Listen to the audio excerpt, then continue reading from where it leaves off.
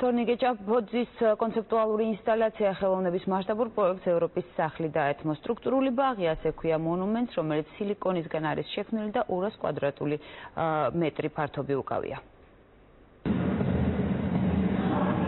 გიგანტურ ქანდაკებას, რომელსაც ევროპის სახლში 200 კვადრატული მეტრის საგამოფენო სივრცე უჭირავს, დამთვალიერებელს პირველ რიგში შთააგონებს შეკითხვას: რა არის ეს?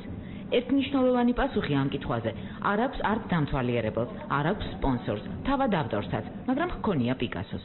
ერთ-ერთ ხელოვნებაცადე მივიდა და უთხრა რომ მე არ მესმის თქვენი ნამუშევრები და პიკასომ კითხა რომ ჩინური იციო არა, ვისწავლე და გაიგეს, ანუ ყველაფერს ჭირდება სწავლა, თანამედროვე ხელოვნებასაც ჭირდება სწავლა და იმისთვის რომ საზოგადოებამ აღიქვას ესეთი ნამუშევარი, ამასაც ჭირდება გარკვეული სწავლა და მომზადება, ამიტომ ადამიანები უბრალოდ უნდა იარონ გამოფენებზე, მსგავს გამოფენებზე, წაიკი აკითხონ. ვისაც ციგნები უკვე დაკითხული აღმოაჩნდა და თანამედროვე ხელოვნების გამოფენებს აქამდე სტუმრობდა, თორნიკე ჭაფოძის სტრუქტურულ ბაღში სეირნობისგან ასეთი შთაბეჭდილება დარჩა. ემოციურია და ეს იმპულსურად გადმოდის ემოცია და ეს არის მნიშვნელოვანი. მასალა ძალიან საინტერესო და რაც თავარია ეთყობა რომ ნაფიქრია ბევრი ნამუშევარზე და სააზროვნო მაყურებლისთვისაც მახასიათებელია ზოგადად თანამედროვე ხელოვნებისთვის. თორნიკე ჭაფოძის მონუმენტი ნამფიქრის დიდი ხნის არის და ნამუშევარიც. ამ უჩვეულო ქანდაკების შექმნას მხატვარი მთელი 2 წელი მოუნდა. ექსპოზიციას ის ამ ობიექტით იწყებს. გინეკოლოგიური სავარძლით, რომელიც დაბადების სიმბოლო მის კონცეფციაში არ არის. რაღაც ინსტრუმენტი, მექანიზმი, მანქანა, რომელიც თავისას აწარმოებს, აი ეს იდეა ამაში რა. განმარტების გარეშე მხატვრის იდეების გამოცნობა საკმაოდ რთულია. დნობადი სილიკონისგან დამზადებული ქანდაკებების კომპოზიცია ერთი მთლიანი ლანდშაფტია, ამიტომ ექსპოზიცია იწყება იქიდან, საიდანაც დამთვალიერებელს სურს. საშიში სივრცე რა.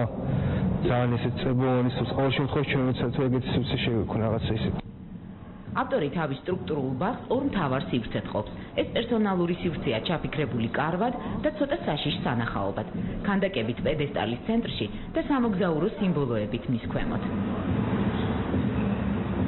სკულპტურის მეორე ძირითადი სივრცე საზოგადოებრივია. ავტორი მას პიკნიკს ეძახის. წარმოადგენს ობიექტს, რომელიც ბარბეკიუს მოგაგონებს. თითქოს მინდორზე გასაშლელ ფარდაგზე კი, ისევე როგორც გალერეის ყველა კედელზე, ის ესკიზებია მიმოფანტული, რომლის მიხედვითაც ეს სტრუქტურული ბაღი შენდებოდა. საპიკნიკე მდელოსთან პატარა აუზია. გუბურაში განუწყვეტლივ ეცემა წვეთი წამში ერთი მონოტონურად. აუზის ქვეშ დამაგრებული მიკროფონები წყლის ვარდნის ხმას აძლიერებს. ეს ხატვის კონცეფციით მედიტაციისთვის განკუთვნილი ადგილია.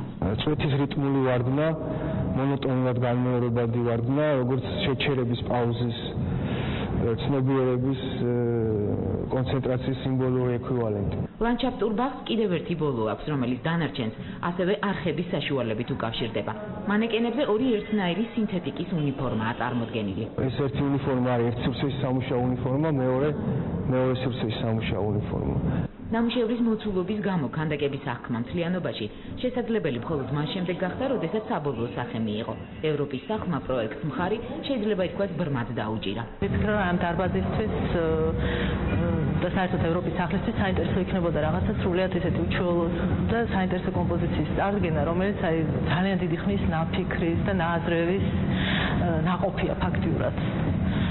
და მხატვრული თვალსაზრისით მართალია ბოლომდე დასრულებული არავის არ ქონდა ნანახი თანამ არ აეთყობოდა მაგრამ რაღაც ისეთ წინაგრძნობა ქონდა რომ საინტერესო ნამუშევარი გამოვიდოდა 31 წლის მხატვრის ამ ნამუშევარში ერთ-ერთი ყველაზე მნიშვნელოვანი გამბედაობა და იდეის ერთგულებაა.